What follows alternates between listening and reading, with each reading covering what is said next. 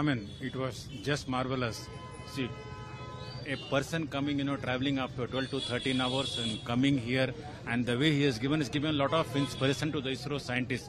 People have worked so hard now, and this has given motivated, especially some of the things like a Nari Sakti, Tiranga, all these names they were given there.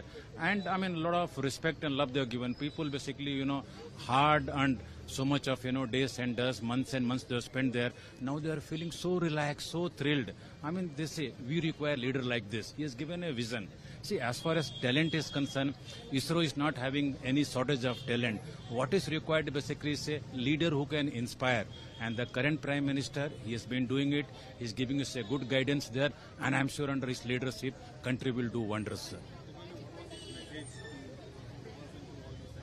Message, message basically here is, you know, what is telling us, like for example, in if, if you go in our Hindu mythology, there is something called Hanumana. Hanuman knew everything, but somebody has to come and remind. So here also what happened, he has basically given a reminder, you are talented, you are knowledgeable, don't worry, go ahead, I am there with you. I am going to inspire you. And basically just, you know, out of the box thinking he has been telling. He said, you know, for example, Chandrayaan 2.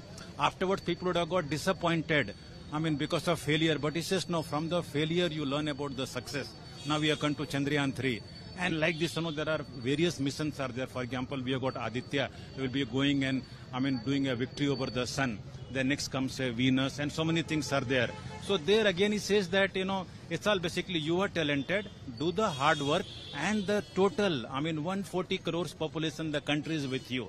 Prime Minister is with you. I mean, that's what the message is given to the scientist community. And personally, I talk to the people. People are very, very happy. I mean, uh, they're, and I'm sure, you know, they are going to put their best. They have been putting, I mean, ISRO culture is basically known for that. But now with this,